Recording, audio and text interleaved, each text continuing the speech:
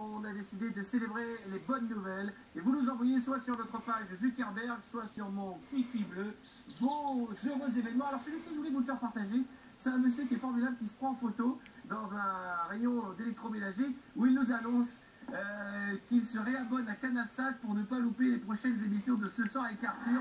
Il se prend en photo avec son décodeur.